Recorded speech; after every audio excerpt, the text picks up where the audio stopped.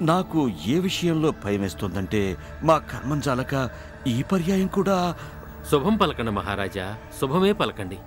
ఈసారి తమకు ఒక అందమైన రాకుమారుడు జన్మిస్తాడు.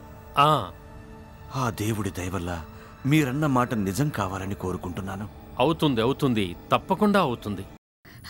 రుక్మిణి రాధా ప్రభు, ఇది మహారాజా. ఇదంతా ఏమిటి?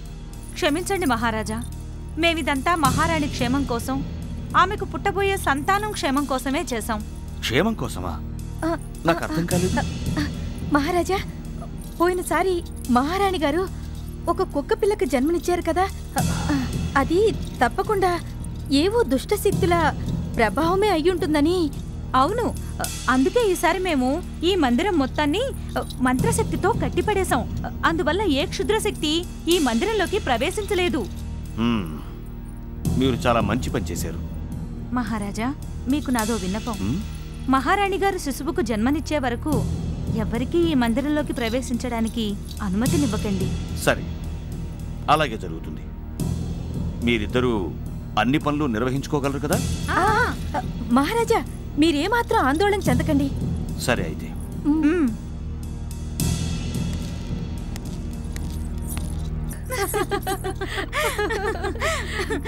చూసావా అక్క?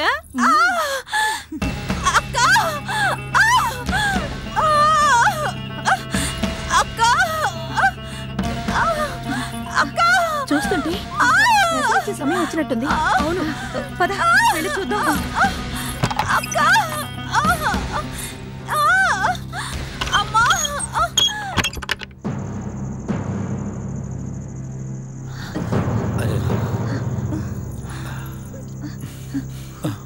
తొలగించండి వాటిని నా కళ్ళ ముందు నుంచి. నేను మీతో ముందు నుంచి అంటూనే ఉన్నాను మంత్రి గారు. ప్రభు. ఈ రేవతి ఆడది కాదు ఎవరో రాక్షసి. ఈసారి ఒక్కదాని కాదు రెండు కుక్క పిల్లల్ని ప్రసవించింది పిశాచం. మంత్రి గారు. మహారాజా. మహారాణికి వెను వెంటనే మరణ శిక్ష అమలు చేయాలని మా ఆజ్ఞ.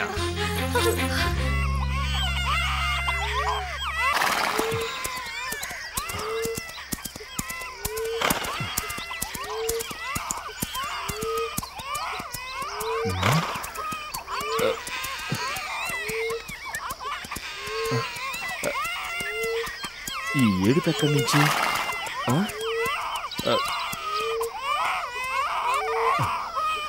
అయితే నా అంచనా నిజమే అయింది. మంచిదయ్యింది. నాలుగైదు రోజుల నుంచి నేను ఈ అడవిలో తిరుగుతూ ఉండటం. ఈరోజు నేను గనక సరైన సమయంలో రాకపోయి ఉంటే పాపం ఈ పిల్లల పరిస్థితి ఏమై ఉండేదో. కానీ ఇప్పుడేం చేసేది? ఆ? ఈ రోజు ఎట్టి పరిస్థితుల్లోనూ వీరిని రాజుగారికి అప్పచెప్పేస్తాను. ఆ, అరే. అరే. చూడబోతే పిల్లలు చాలా ఆకలిగా ఉన్నట్లున్నారు. ముందు వీరిని ఇంటికి తీసుకువెళ్తాను. మహారాజా మహారాజా దయచేసి నా విన్నపాన్ని మన్నించి మీరు మీ కోపాన్ని అదుపులో పెట్టుకోండి. మంత్రి గారు మీరు చెప్పడం వల్లనే నేను ఆమెను పోయినసారి కూడా క్షమించాను. అందుకు ప్రతిఫలం ఏంటో చూశాం కదా?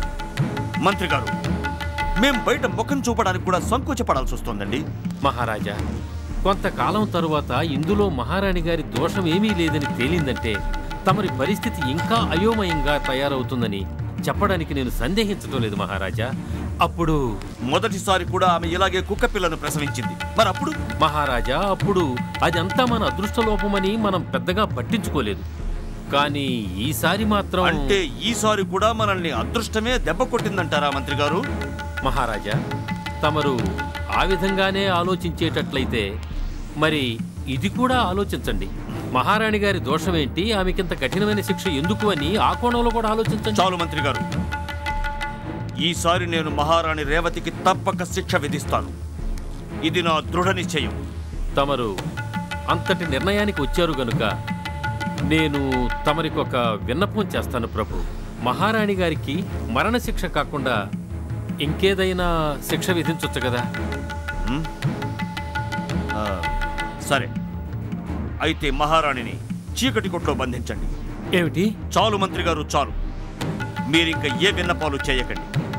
మేము సానుకూలంగా స్పందించలేము ఇంకా హ్మ్. చిత్తం మహారాజా.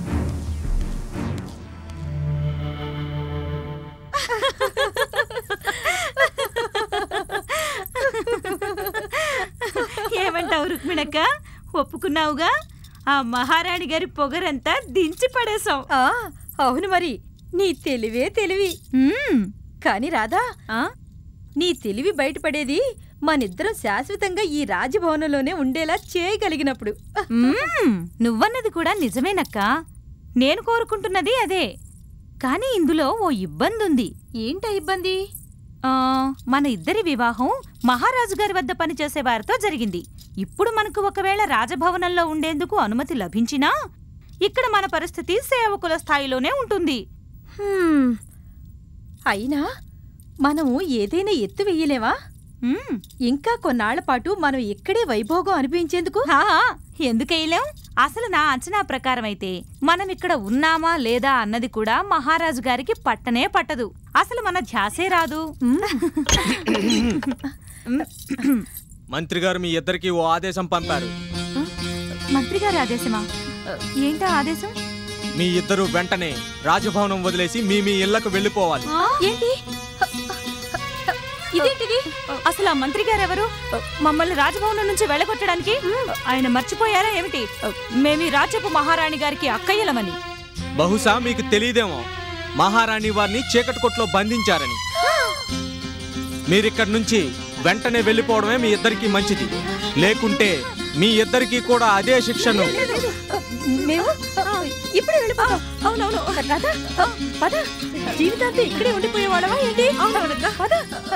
చూడు రామనరేష చిత్తం మంత్రివర్య. మన మహారాణి గారి పట్ల జరిగిన ఈ ఘోరములో ఆవిడ అక్కయ్యలిద్దరి హస్తం తప్పక ఉంటుందని నేను గట్టిగా నమ్ముతున్నాను. కానీ నేను ఆ విషయాన్ని నిరూపించలేను. ఎందుకంటే అందుకు నా వద్ద ఎటువంటి సాక్ష్యమూ లేదు. కానీ మంత్రి గారు వారిద్దరూ తమ సొంత చెల్లెలి పట్ల అలా ఎందుకు చేస్తారు? ఈర్ష్య. ఈర్ష్య కారణంగా. ఆ ఇద్దరికి వారి కంటే చిన్నదైన వారి చెల్లెలు వారిపై అధికారం చేయటం మింగుడు పట్టం లేదు. ప్రస్తుతానికి ఆ ఇద్దరిని నేను రాజభవనం నుండి బయటకు పంపించేశాను. కానీ ఆ ఇద్దరిని మనం గమనించే ఉండాలంటున్నాను. ఎందుకంటే మహారాజు గారు ఇది అదృష్టలోపమని సరిపెట్టుకున్నారు. కానీ నాకైతే ఇందులో ఏదో కుట్ర ఉందని చాలా గట్టిగా అనిపిస్తోంది.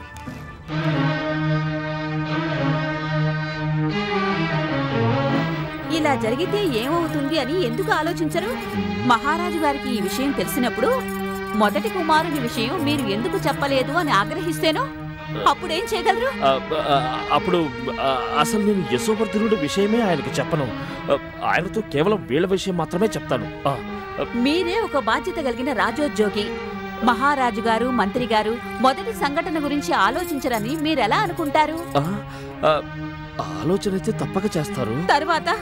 తరువాత మిమ్మల్ని ఎన్నో ప్రశ్నలు అడిగి లోతుల వరకు శోధిస్తారు. ఏదైనా ఒక్క పొల్లు మాట నోటి నుంచి వచ్చిందో అప్పుడు అప్పుడేమవుతుంది ఆ, ఆ, అప్పుడు నేను కూడా ఈ కుట్రలో భాగస్వాములని వారు తప్పక భావిస్తారు.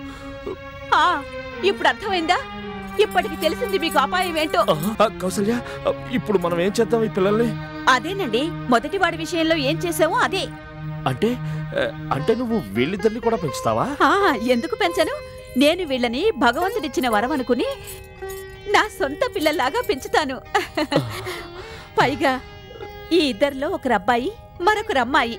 ఓ ఆడపిల్లకు తల్లిదండ్రులం కావాలన్న మన కోరికను కూడా ఆ దేవుడు తీర్చాడండి. ఎంత అందంగా ఉన్నారు ఈ పిల్లలు. కౌసల్య తన భర్త యశ్వంతుడికి ఏమైతే చెప్పిందో అదే చేసింది. ముగ్గురు పిల్లల పాలన పోషణ ఎంతో శ్రద్ధగా చేసింది. యశ్వంతుడు ఆ ముగ్గురికి అన్ని విద్యలలోనూ శిక్షణనిప్పించాడు శాస్త్రంలోనూ శస్త్రంలోనూ అన్నిట్లోనూ ముగ్గురు ఆరితేరారు. యశ్వంతుడు ప్రభుత్వంలో ఉన్నత పదవికి చేరుకున్నాడు. ధన వైభవాలకి ఏ కొరత లేదు. అతడు తన పిల్లల కోసం నదీ తీరానికి సమీపంలో ఒక అద్భుతమైన భవనాన్ని నిర్మింపజేశాడు. ఆ భవనం సౌందర్యం గురించి ఎక్కడ చూసినా చర్చలే. యశ్వంతుని భార్య కాలధర్మం చెందింది. ఆ తరువాత కొద్ది కాలానికే యశ్వంతుడు కూడా మరణించాడు. అతని కుమారునిగా యశోవర్ధనుడికి అతని స్థానంలో రాజోద్యోగం లభించింది. యస్మిత కూడా తన అన్నలను బాగా అభిమానించేది. ఆమె వారిద్దరికంటే మేధావి కూడా. ఇల్లు మొత్తాన్ని ఆమె నిర్వహించేది. ఒకరోజు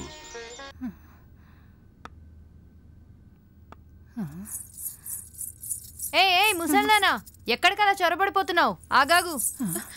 అరెరే ఏమైంది? ఈవిడ? ఎవరివిడ ఎవరో తెలీదు. చూసారా? ఎలా దూరేసిందో లోపలికి? ఏయ్ పద పద బయటికి పా ఆగా గాగు ఎవరవ్వా నువ్వు? నీకు నాతో ఏమైనా ముఖ్యమైన పనుందా? ఉంది. చెప్పు. ఏంటా పని? నాకు ఆకలిగా ఉంది. నేను రెండు రోజుల నుంచి ఏం తినలేదు. నువ్వు నాకు భోజనం పెట్టించగలవా తల్లి? ఓ ఆ, ఆ, తప్పకుండా. చల్లగా ఉండు. ఆ దేవుడు నీకు మేలు చేస్తాడు. చూడు అమ్మా. ఈమెకు కడుపు నిండా భోజనం పెట్టు. అలాగే. వెళ్ళు. అవ్వా ఈ పరిచారికతో భోజనాల గదికి వెళ్ళు. ఆహా చల్లని తల్లి. నువ్వు నిజంగా కరుణామయివి. సరే సర్లే పదా. పద. అమ్మా.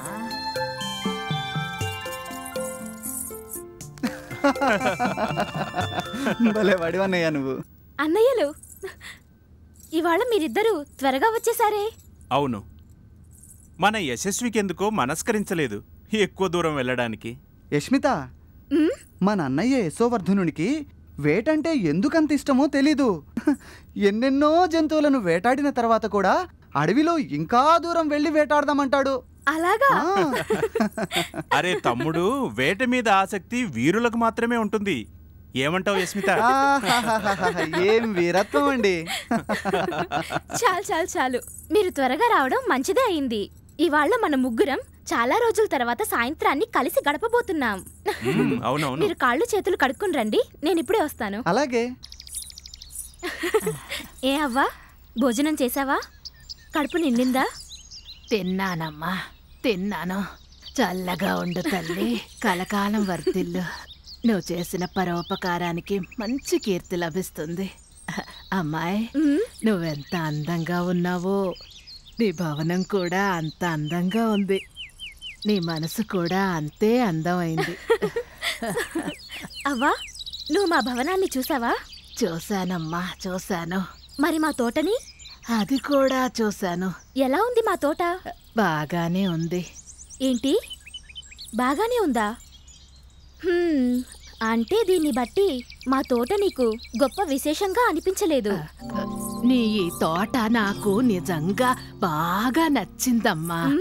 కానీ నేను ఒక్క విషయంలో కొంచెం నిరాశ చెందాను.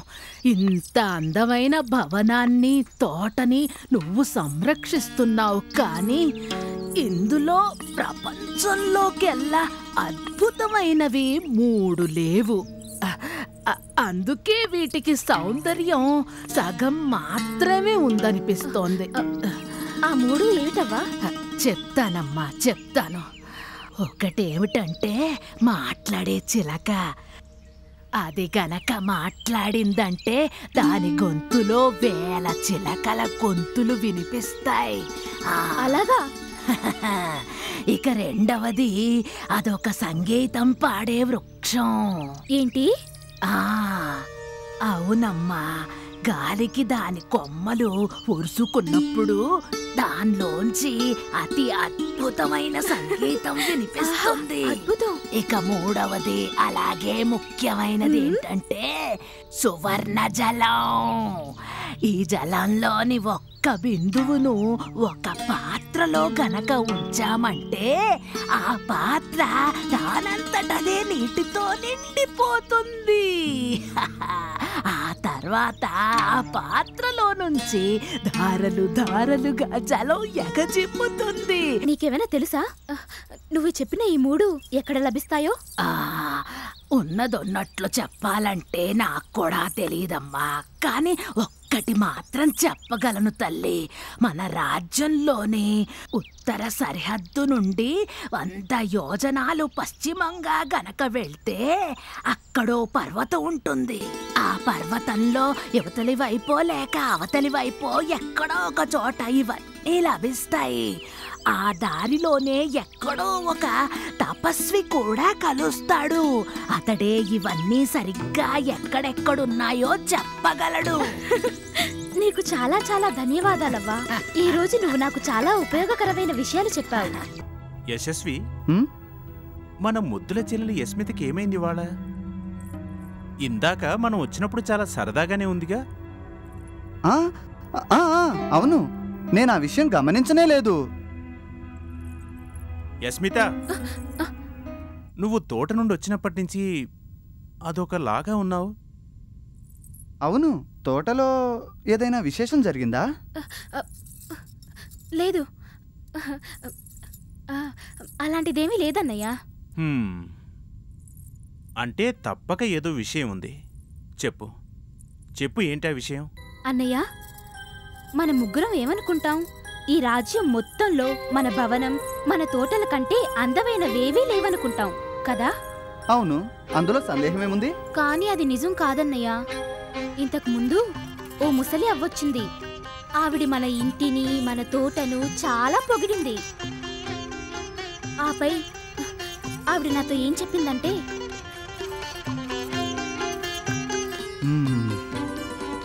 నువ్వంటుంది నిజమే.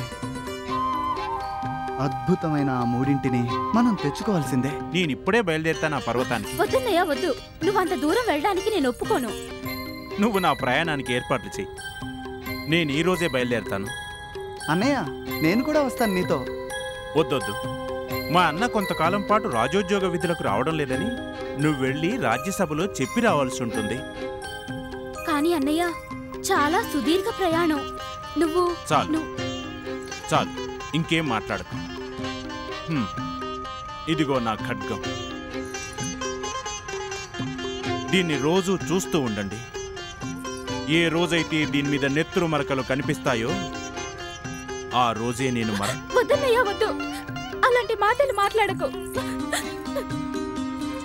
యశస్వి. ఆ, అన్నయ్య నా మాట వినలేదు. వెళ్ళిపోయాడు. నాకు మనసులో చాలా భయంగా ఉంది. అరే పిచ్చిదానా భయపడాల్సిందేముంది? అన్నయ్య తను వెళ్ళిన పనిని సఫలం చేసుకుని త్వరగానే తిరిగి వస్తాడు. నువ్వు మీ అన్నయ్యని ఆ మూడింటిని తీసుకురమ్మని పంపించావని విని ఇలా వచ్చానమ్మా. ఆ, ఏమిటమ్మా నువ్వు? ఆ పర్వతం పైకి ఎవరు వెళ్ళినా శిలలైపోతారమ్మా శిలలైపోతారు. ఎంత పని చేశావమ్మా నువ్వేమంటున్నావమ్మా? నేను నిజమే చెప్తున్నాను తల్లి. మరి మాట ముందే ఎందుకు చెప్పలేదు? నాకు కూడా ఈ విషయం ఇంతకు ముందే తెలిసింది. వెంటనే నేను పరిగెత్తుకుంటూ తిన్నగా నీ దగ్గరికే వచ్చాను తల్లి. ఎవరు చెప్పారు నీకు? ఒక ముసలి సాధువు చెప్పాడు.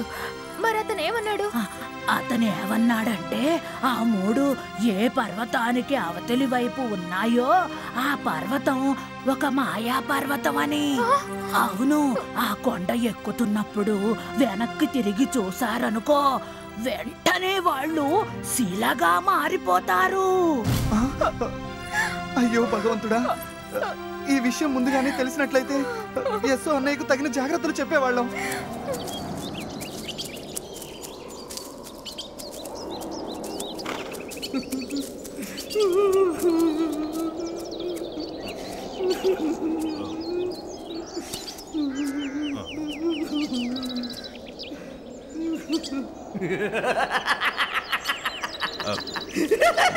ప్రణామాలు సాధుపుంగవా ఆ నవ్వుకు అర్థమేమిటి? అర్థం ఏంటంటే మరొక నవ యువకుడు మృత్యు పర్వతం ఎక్కడానికి వచ్చాడు కదా అని. మృత్యు పర్వతమా మృత్యు పర్వతమేనయ్యా ఇది. దీనిపైకి అందరూ వెళ్ళారు కానీ ఒక్కరు కూడా ప్రాణాలతో తిరిగి రాలేదు. మీరు విషయం ఏంటో పూర్తిగా చెప్పండి. అయితే విను. ఇది ఒక మాయా పర్వతం? దీన్ని ఎవరైతే ఎక్కుతుంటారో వారికి వెనక నుండి రకరకాల స్వరాలు వినిపిస్తాయి. ఆ స్వరాలకు చెలించిపోయి వెనక్కి తిరిగి చూసినట్లయితే ఆ చూసిన వాడు వెంటనే ఓ శిలగా మారిపోతాడు. ఓ. సరే. నేను ఇంక బయలుదేరుతాను. ప్రణామాలు. సరే నాయనా సరే. అరే మిత్రమా నీకు యశోవర్ధనుడి గురించి అంతా తెలుసన్నావుగా? మరి అతనికి నువ్వు అతని చెల్లెలు యస్మిత గురించి చెప్పు. చెల్లెలికి? నీకు అన్ని విషయాలు తెలుసట కదా? మరి అలాంటప్పుడు నన్నెందుకు ఇలా ప్రశ్నిస్తున్నావు? సర్లే అడిగావు కాబట్టి చెప్తున్నాను. ఈ రోజు నుండి నీ మీద నాకు సర్వ హక్కులున్నాయి. ఇక నుంచి నేను చెప్పినట్టే నువ్వు వినాలి. అర్థమైందా? అర్థమైందిలే. సరే చెప్పు. ఏంటి నీ ఆదేశం? బోలెడన్ని చెయ్యాలి.